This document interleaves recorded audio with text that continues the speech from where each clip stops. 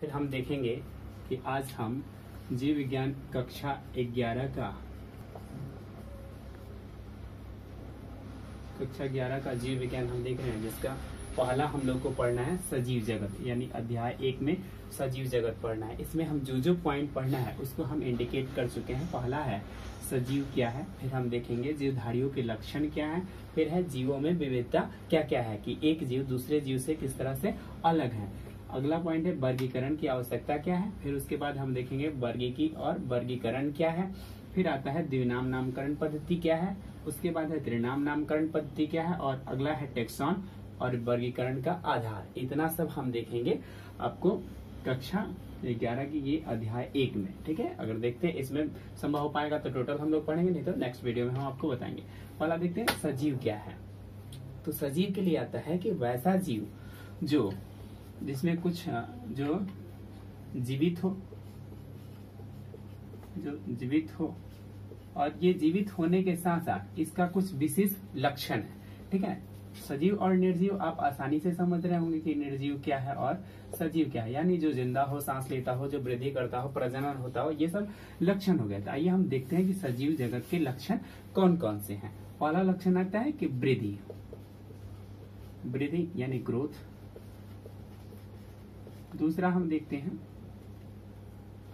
श्वसन, यानी रेस्पायरेशन।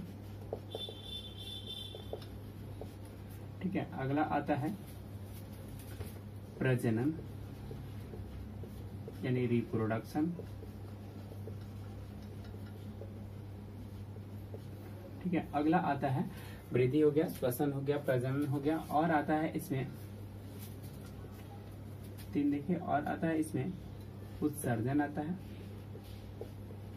यानी एक्सक्रेशन ठीक है? उदीपन आता है, जिसका अंग्रेज़ी होता है एस्टिमुली यानी एक, दो, तीन, चार और पाँच। एक और प्रोटोप्लाज्म को भी रखते हैं, लेकिन ये पाँच ऐसा लक्षण है जो सजीव को निर्जीव से अलग करता है। जैसे अगर हम सजीव है, यानी वृद्धि वृद्धि का मतलब होता है या तो उसके आकार में वृद्धि हो, यानी साइज़ बढ़े, या आयतन में वृद्धि हो, यानी इसका वॉल्यूम बढ़े। ठीक है, किसी भी तरह से। श्वसन आप समझ रहे हैं, यानी सांस लेने की प्रक्रिया, प्रजनन समझ रहे हैं, अपने जैसा ही संतान की उत्पत्ति करना, उसके बाद है उत्सर्जन। यानी डाइजेशन की क्रिया प्रोसेस जब पूरा हो जाता है तो बेकार की चीज़ें अपशिष्ट पदार्थ शरीर से बाहर करना ही उत्सर्जन कहलाता है या किसी भी रूप में शरीर शरीर में जो बेकार की चीज़ें हैं, वो जब बाहर निकलती है, उसे ही हम उत्सर्जन कहते हैं। और उदीपन की बात करें अगर तो उदीपन यानी संवेदना भी इसको हम कह सकते हैं। यानी सेंसेशन कह सकते हैं। फिर एक ही के बारे में पढ़ते हैं। यहाँ एक और बात जानने वाली है कि इसमें कौन सा लक्षण सजीवों का विशिष्ट लक्षण कहलाता है? विशिष्ट लक्षण की बात करें तो विशिष्ट लक्षण का मतलब ये होता है कि वैसा गुण जो सजीव को निर्जीवों से अलग करता हो, यानी किसी न किसी मायने में उनको एक खास रूप से अलग करता हो, जो डिफ्रेंशिएट करता हो। अगर हम वृद्धि देखते हैं तो क्या वृद्धि के लिए कह सकते हैं कि वृद्धि सजीवों में ही होता है और निर्जीवों में नहीं होता? है तो आप कहेंगे कि नहीं, वृद्धि केवल सजीव में होता है, जो कि सरासर गलत है। वृद्धि जो है, सजीव में होता ही है, सजीव का आकार बढ़ता है, आयतन बढ़ता है साथ साथ निर्जीवों में भी वृद्धि होती है। जैसे, अब कैसे होती है? अगर मान लीजिए कोई पहाड़ है, ठीक है? अब पहाड़ है तो इस पहाड़ पे धूल मिट्टी बाहर से जमा हो रहे हैं। तो जमा हो रहे हैं तो ज़ाहिर सी बात है, इसके भी आकार में वृद्धि हो रही या कहीं ऐसे मरुस्थलीय जगह है, या बालू वाली जगह है तो अगर तेज हवाएँ आती है तो यहाँ से हवा को उड़ाकर दूसरी जगह लेकर चली जाती है तो यहाँ किसी न किसी रूप में गड्ढे बन जाते हैं। अब गड्ढे बन जाते हैं तो इनके भी हम कह सकते हैं कि इसके आयतन में परिवर्तन हो गया चेंजिंग हो गया। इस तरह से हम कह सकते हैं कि वृद्धि जो है, वो सजीवों का विशिष्ट लक्षण नहीं है। क्योंकि इसका कुछ गुण सजीवों में मिल रहा है तो कुछ गुण निर्जीवों में भी मिल रहा है। यानी निर्जीवों में भी आकार बढ़ रहा है और आयतन भी बढ़ रहा है। इस तरह से हम कह सकते हैं कि वृद्धि जो है, वो सजीवों का विशिष्ट लक्षण नहीं है। दूसरा देखते हैं श्वसन रेस्पायरेशन यानी सांस लेने की क्रिया जो है, ये, यानी हम ऑक्सीजन को ओटू को सांस लेने की क्रिया में लेते हैं और सीओ को बाहर करते हैं। चूँकि श्वसन की क्रिया में ही हमें ऑक्सीजन मिलता है ऑक्सीजन के चलते ऊर्जा मिलता है, ठीक है? तो ये प्रोसेस केवल और केवल सजीवों में होता है, लेकिन कभी कभी जब मानव कोमा में चला गया हो उस कंडीशन में वह यह श्वसन की प्रक्रिया स्वतः नहीं कर पाता है, उसे दिया जाता है बाहर से। उस कंडीशन में इसको हम विशिष्ट लक्षण नहीं कर सकते हैं, लेकिन अगर ऐसे नॉर्मली माना जाए तो श्वसन को हम विशिष्ट लक्षण में रखते हैं क्योंकि ये निर्जीवों में श्वसन की ज़रूरत नहीं होती है। निर्जीव जितने सारे पदार्थ हैं, वो सांस लेने की क्रिया नहीं करते हैं। अगला आता है प्रजनन। तो क्या हम प्रजनन के लिए कह सकते हैं कि ये केवल जीवों में होता है और निर्जीवों में नहीं होता है? तो आइए देखते हैं कि क्या है।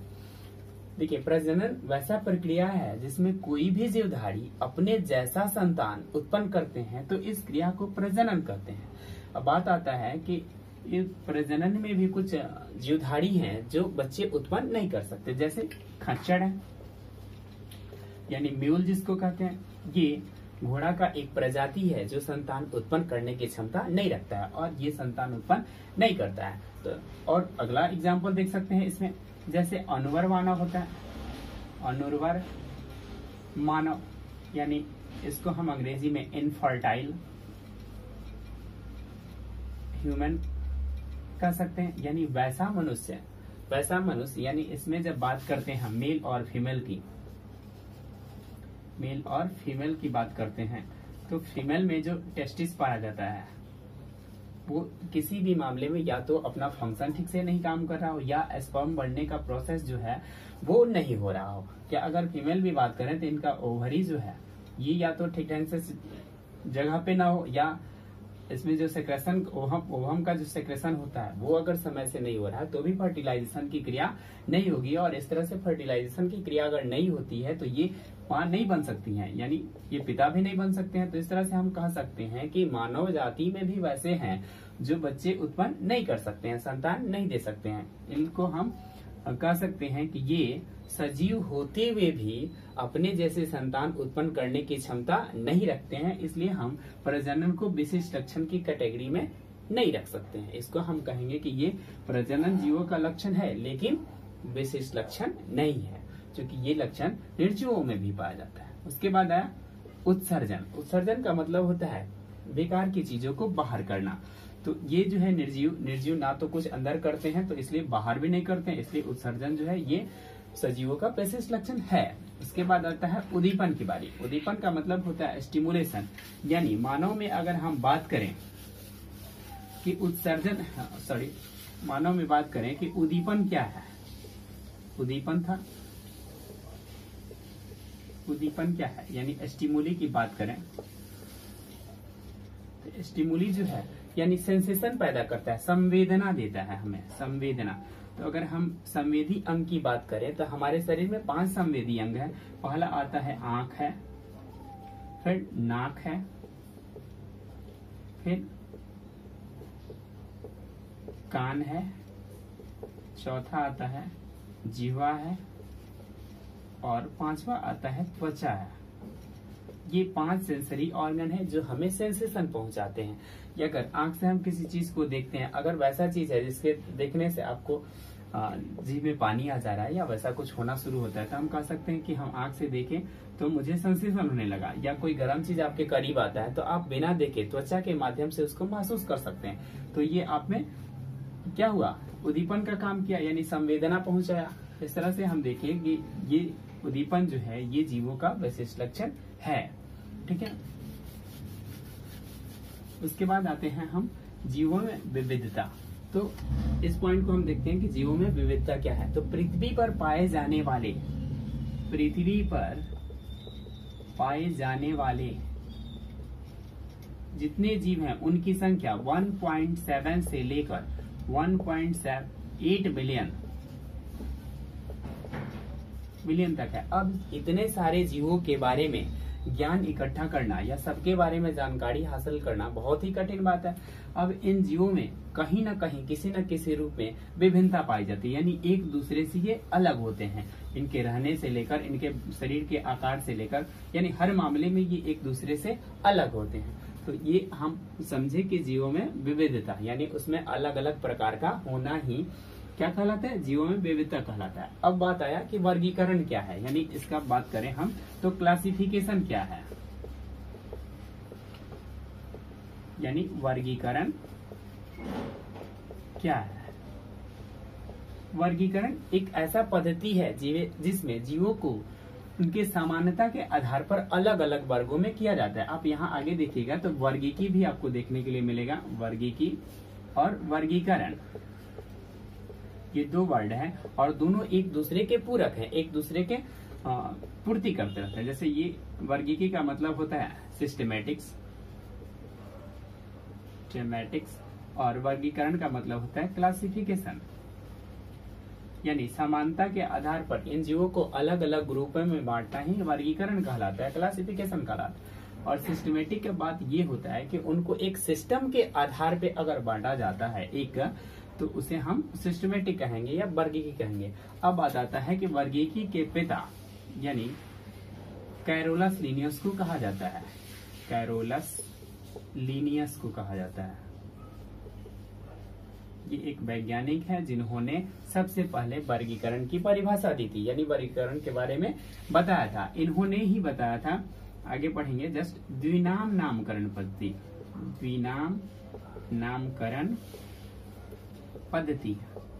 और एक अगला पॉइंट है आपका त्रिनाम नामकरण पद्धति। त्रिनाम नामकरण पद्धति। तो अब समझते हैं कि द्विनाम नामकरण पद्धति क्या है और त्रिनाम नामकरण पद्धति क्या है। तो आइए हम आपको बताते हैं द्विनाम नामकरण पद्धति क्या है। यह एक किसी भी वस्तु का जैसे सप, सपोज़ करिए कि हम यहाँ हैं या कोई बच्चा इंग्लैंड में जाकर पढ़ रहा है, कोई जापान पढ़ रहा है, कोई कहीं जाकर पढ़ रहा है तो उसमें होता ये है कि एक ऐसा नामकरण रखा जाए जीवो का या किसी वस्तु का कि पूरे विश्व में उस, उसको एक ही नाम से जाना जाए, जिसे कहा जाता है वनस्पति नेम या साइंटिफिक नेम। साइंटिफिक नेम उसको कहा जाता है, ठीक है? तो अब ये बात आता है कि ये किस आधार पर रखा जाता है, जिसमें हम टेक्सॉन में आपको बताएँगे इसमें आता है आईसी डीएन और आईसी जेडएन ये मुख्य दो है जिसके तहत बांटा जाता है। जस्ट नीचे आते हैं तो हम इसको डिटेल करते हैं। अभी हम देखते हैं साइंटिफिक नेम में द्विनाम नामकरण पद्धति क्या है? द्विनाम नामकरण पद्धति। अब इसमें आता है कि इसमें लिखा गया शब्द, पहला कंडीशन आता है कि इसमें लिखा गया, या आप कह सकते हैं कि लिया गया शब्द लैटिन भाषा में होना चाहिए। लैटिन भाषा में होना चाहिए। पहला बात है। दूसरा बात है कि इसमें दो शब्द होते हैं, लिख सकते हैं। दूसरा पॉइंट कि इसमें, यानी द्विनाम नामकरण पद्धति में दो शब्द होने चाहिए। होना चाहिए। और पहला जो आता है, पहला जो आता है, उसको हम वंश कहते हैं और दूसरा जो आता है, उसको जाति कहते हैं। तीसरा पॉइंट इसमें आता है कि वंश का वंश का पहला लेटर या पहला अक्षर कैपिटल लेटर में लिखा जाता है।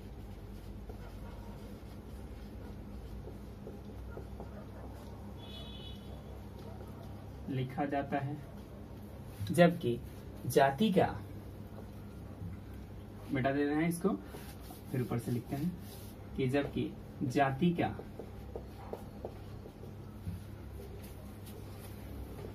जाति को स्मॉल लेटर में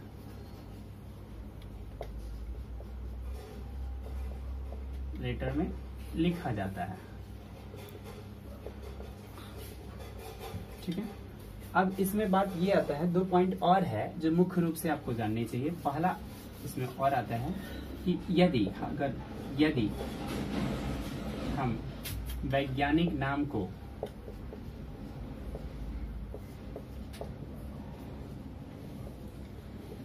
हस्तलिखित करते हैं। हस्तलिखित मतलब हाथ से अगर लिखते हैं तो इसके नीचे यानी इसके नाम के नीचे, इसके नीचे अंडरलाइन अंडरलाइन देते हैं। अगर यही छपाई की भाषा है, अगर छपाई की भाषा है, या कंप्यूटर के द्वारा हम लिख रहे हैं तो ये इटैलिक में लिखा जाता है। यानी तिरछा लिखा जाता है।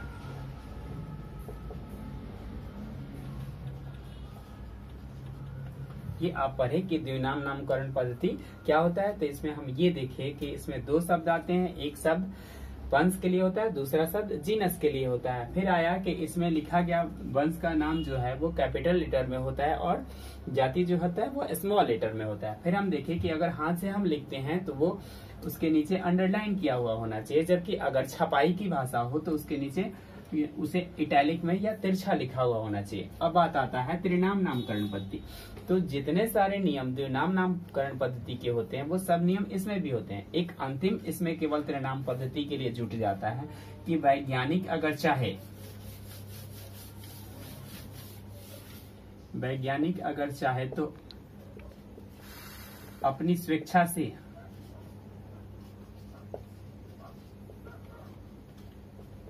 से नीचे या अंत में अपना एक छोटा सा नाम दे सकता है। छोटा सा नाम दे सकता है। इस बात से ये हुआ कि दो नाम में दो नाम तो हम पहले से देखे और एक तीसरा नाम जो दे रहा है वो वैज्ञानिक अपने तरफ़ से दे सकता है। यहाँ हम त्रिनाम पद्धति खत्म किए। उसके बाद आता है टेक्सॉन को, जो वर्गीकी के आधार आईवी हम पहले लिखे थे आईसीबीएन यानी इसका मतलब होता है international code of botanical nomenclature और दूसरा आता है आईसीजेडएन है, यानी international